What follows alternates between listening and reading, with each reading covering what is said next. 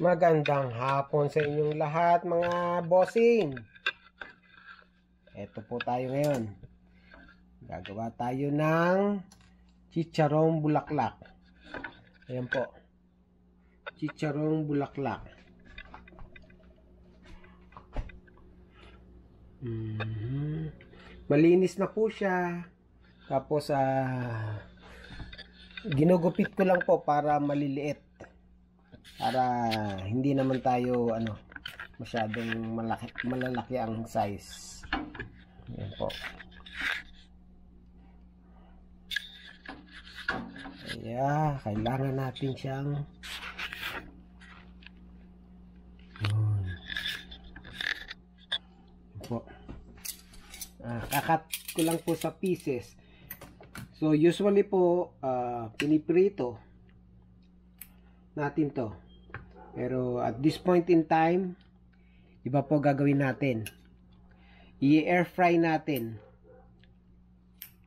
So, para hindi naman masyadong makasalanan. Putol-putol lang muna po tayo.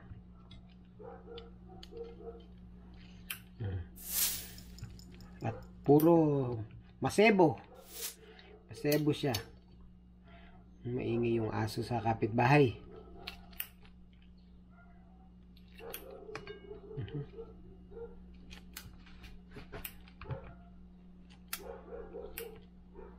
Yan po. Yan. Hmm. Siya nga po pala. Memorial Day bukas. So, long weekend po tayo. Dito sa Amerika long weekend po. So, yung iba, mga nagka-camping, yung iba, pasyal-pasyal sa mga kamag-anak. Tayo po ito, nasa bahay lang, at magluluto. Subukan natin to. I-air fry natin. So, matapos natin gupitin, uh, ilalagay po natin sa air fryer. Ito po, ayan.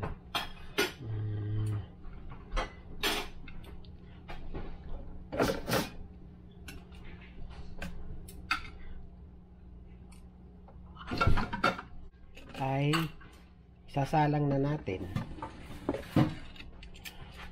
Wala po siyang timpla. Walang asin, walang kahit ano. Basta pipirituin lang natin. Ayan po. So set down ng 400 tapos 15 minutes. Ayan po. Nag on na Yun, ganda. Okay po.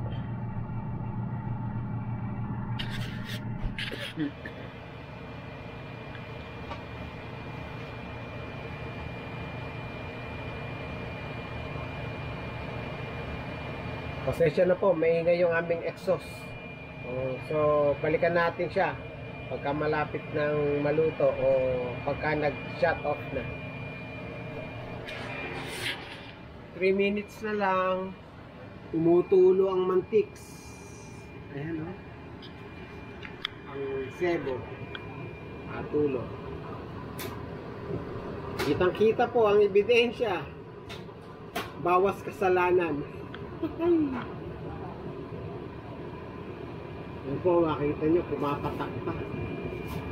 Talagang ano siya tsaka ano, Maganda po ang benepisyo nitong air fryer. Oh.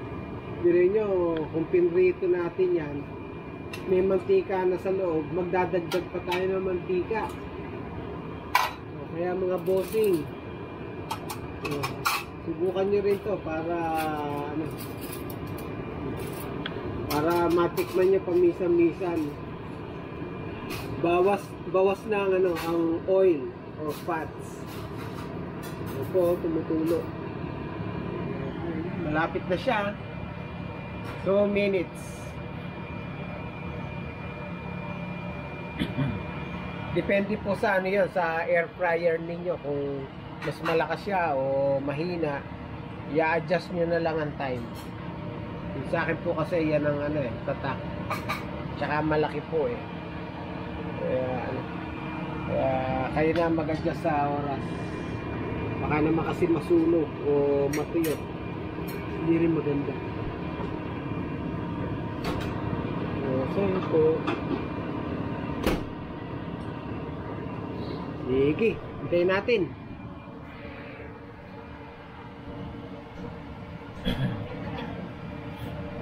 One minute.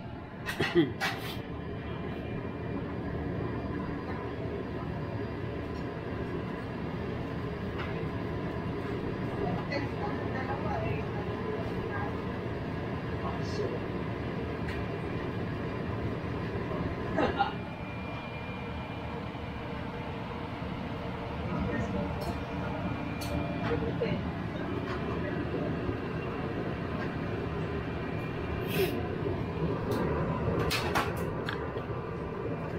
Oh, patuloy pa rin ang ano namin pagpatak ng mantika or fats galing sa chicharong bulaklak. Yan po nag off na. So hintayin na lang natin. Okay. Maya maya po kukunin na natin. Sige po. Init. Kukuha na natin.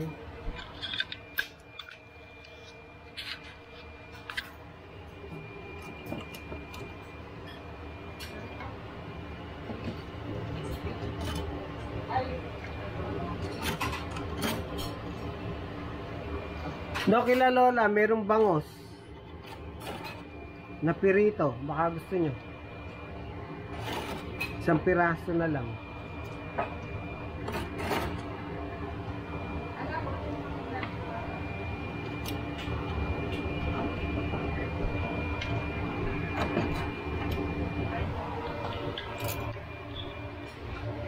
Medyo patitigasin na natin yung mantika There's nothing in the microwave. sa Oh,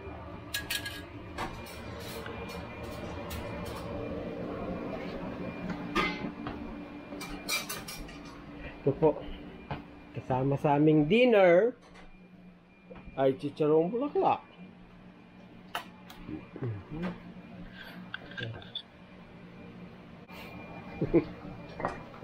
Yan po, tikman natin maya maya. Yan ang kakainin ng aking anak na lalaki. Ito ay ang aming part ng hapunan.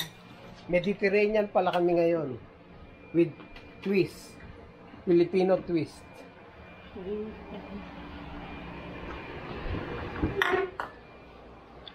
What part is bulaklak? Mesentery. Mainit. Tingnan. Oo nga. Ay! Hey! Tikman po natin. Mesentery. That's the li- lining of the stomach, right? Hindi. Ano? It holds the intestine to the body. Peritoneum. Ay, shh. ang lining ng ng abdomen. Hey, hey. Ay. Tikman po natin. Ayan. Alias can be good though. Hmm. Malutong. Mhm. Ito sa'yo, isda eh. Hmm. Kumain ka niyan. Sa akin pala po isda. Okay. Sige po. Tuloy na namin ang kain namin. Kain na rin kayo.